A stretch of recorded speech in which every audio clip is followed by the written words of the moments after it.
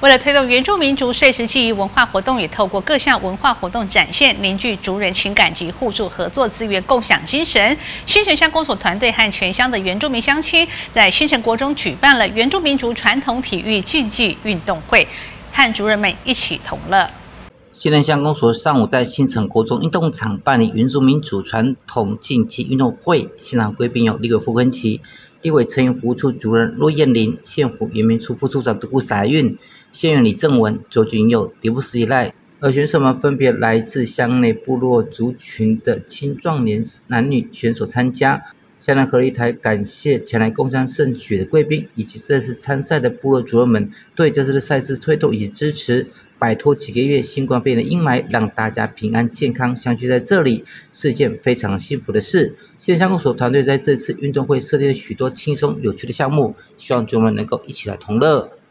我今天非常的感动，除了中午回去稍微休息洗个澡，要完马上就赶过，就这样来看下午八百公尺的接力赛。啊，早上所有的趣味竞赛一百公尺的竞赛，我从头到尾都看了，我内心非常的感动。看到我们的族人们团队的精神、体育的精神，尤其更是令我感动的，就是各位胜不骄、败不馁的精神。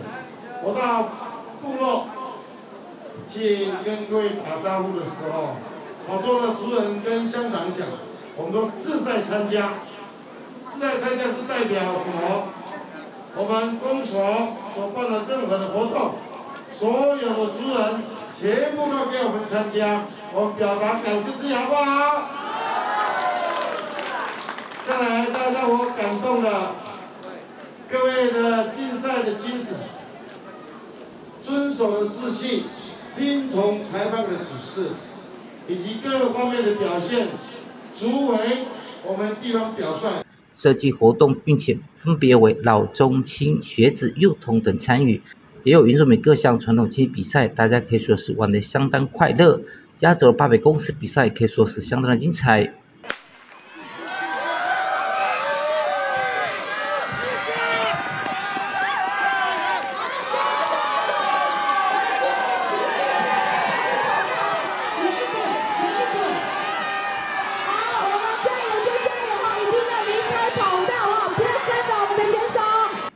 经过一天的竞赛，由布农部落获得第一名和精神总锦标，可以说是最大的赢家。现在，下和一台也向部落主人们相约明年见。记得注意，新闻下报道。